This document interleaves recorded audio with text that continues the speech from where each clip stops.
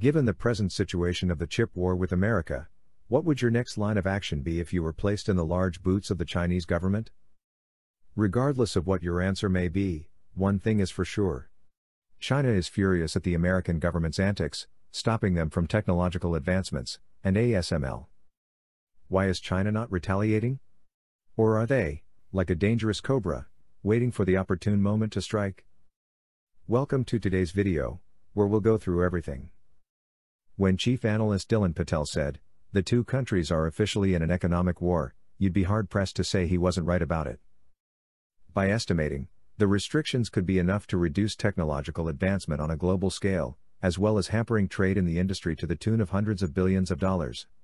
He also stated, this is the US salvo against China's efforts to build its domestic tech capabilities. It's the US firing back, making clear they will fight back. You see, the American restrictions on cutting edge chip making technology exports to China have certainly been a thorn in their rears. It has been the chief reason why China has not made any cutting edge silicon based chips for a while now. As you probably already know, chips are very important, from semiconductors and supercomputers to surveillance systems, and hey, even the advanced weapons that the American government is supposedly so worried about all require cutting edge chips. And the crazy part of it all is that the effects of the chip ban could go well beyond just semiconductors alone. Every industry that relies upon high end computing, from electric cars to aerospace to smartphones and computers, or hey, even smart homes, would be affected. But, did you know that while it was under the administration of Donald Trump that the chip war between both nations commenced, it is the moves that came to light from Joe Biden's administration that are the most aggressive yet? China is viewed as a threat, and the US officials would stop at nothing to checkmate their opposition by stopping them from developing cutting edge technological strides in the industry. With that in mind, what exactly was the bigger picture? According to American officials, the sanctions and restrictions were pivotal. Someone had to stop China from being a military and economic thorn, and well, let's just say they gladly picked the short straw. All in all, their primary goal is to ensure the chipmakers in China get stopped from laying their hands on any cutting edge machine needed to make advanced semiconductors, especially the extreme ultraviolet lithography machine, otherwise called EUVs. To be more precise, the restrictions cover the production of logic chips using so called non planar transistors that are manufactured with 16 nanometer technology or perhaps something more advanced like 18 nanometer DRAM chips. The reason for this is simple. The smaller the number of nanometers, the more cutting edge the chip would be, leaving it with a greater capability. But, let's look at what some experts had to say, shall we? Technology analyst Dan Wang stated The rules are a directional signal about U.S. policy on China, a very hawkish consensus is now cemented in place. Gu Wenjun, the head of Chinese chip researcher ICwise, also had something interesting to say. In his words, the reality is the US is determined to use chips as a tool to contain China, there is no possibility of reconciliation. There's something we'd like to add, though. While the sanctions prohibit chipmakers from selling A. I. semiconductors to China, or those that could be used in supercomputers, those chipmakers are permitted to request an exception to the rules from the U.S. Department of Commerce, but such a request, according to senior officials, should already be presumed to be denied. Do you remember what we mentioned earlier about EUV machines? Only one place in the world produces such advanced lithography machines, and that title belongs to none other than the Dutch firm ASML. However, due to their supremacy and exclusivity in the sector and, of course, the market, ASML is now the instrument of the rift between China and the West, in terms of access to cutting edge technology. And, in recent months, the US has put a lot of pressure on the Netherlands to curb chip supplies to China, particularly from ASML. And now, According to Hong Kong CNN, the rules are being finalized. In response to the questions surrounding export controls, here's an official statement from the company. It is our understanding that steps have been made towards an agreement between governments which, to our understanding, will be focused on advanced chip manufacturing technology, including but not limited to advanced lithography tools. Before it will come into effect, it has to be detailed out and implemented into legislation, which will take time. Do you remember when Bloomberg, the Financial Times, and even the Wall Street Journal reported the US had successfully persuaded Japan and the Netherlands to stop exporting some equipment used to make chips? It's probably safe to assume this is in light of the persuasion. But, While the deal was reached, there were some rumors that it wasn't initially announced due to concerns of the American allies, Netherlands and Japan, potentially pissing China off into a potential retaliation. Interestingly, that's not the first time the West has been left wary about China retaliating. While Stacy Rasgon and a team from Sanford C. Bernstein played down the widespread belief that standard CPUs used in P.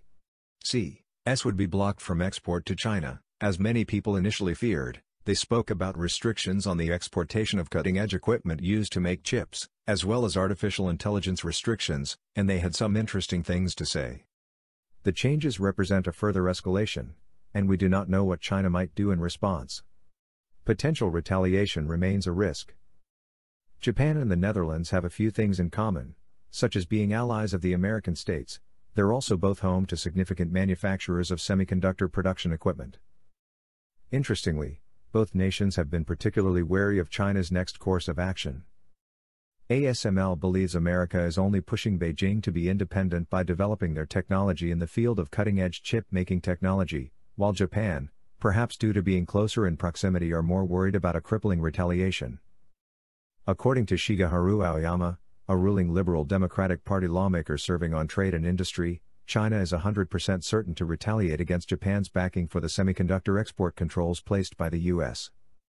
In an interview with Bloomberg, he stated, China will come back with stronger retaliation and Japanese companies doing business there will probably be damaged. To be fair, he does have a good reason for being worried. You see, China has a history of deploying economic sanctions in the middle of political disputes with its neighbors. Recently, in light of Japan and South Korea issuing COVID 19 testing on people traveling from mainland China, Beijing stopped issuing visas for people traveling from the two nations. Do you also remember what happened in 2010? When tensions erupted over East China Sea islands claimed by China and Japan, the former banned the exportation of rare earth metals to Japan. But there's one thing Aoyama probably hasn't taken note of. In terms of trade conflicts, China always shows restraint. It's always carefully planned. Escalation and damage to their internal economy are always avoided. There's more reason to believe China will continue its quest to be the number one superpower globally as far as technology is concerned by other means, rather than a full retaliation. As the largest economy in the world, China has the means to fight the US. They could even give America a taste of their own medicine by dishing out sanctions, or perhaps even denying the big boys in the field of American tech access to their mammoth internal market. But subtlety is going to be far sweeter. China could leverage its control over critical raw materials, rare earth metals, to be more precise. Remember the example we gave earlier? They did the same to Japan in 2010, cutting off the export of these high tech materials. Now, while these rare earth metals aren't exactly rare in the sense that they can be found outside China. The facilities to refine them are hardly found anywhere else.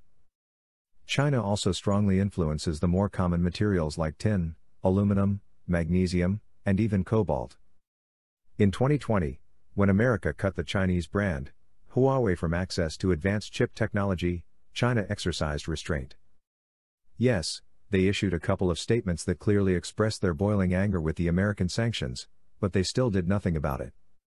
In essence, they would rather do nothing at all than risk a form of retaliation that would leave them far worse from where they originally stood. It's a smart move from China and they've got to be applauded for it, wouldn't you say?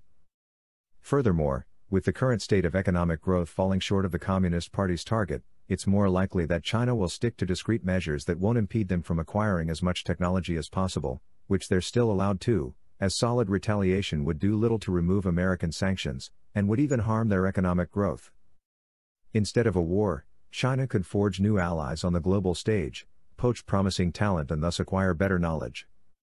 Technology analyst Dan Wang also seems to have a similar train of thought. At Gavekal Dragonomics, he predicted Beijing is likely to continue avoiding tit for tat reprisals against U.S. companies in the near term, while encouraging American companies to invest more in China, on the theory that businesses with a vested interest in the China market will be a counterweight to hostile politicians in Washington. One thing is for sure though. If China is given the option of either engaging in a war or entering a truce with the US, they will take the latter with open arms. What are your thoughts, though? Do you think China is playing the waiting game by being calculative and never forgetting the bigger picture? Also, Is there any chance that China will retaliate soon? Let us know in the comment section, and don't forget to explore more videos on our channel, subscribe, and give us a thumbs up.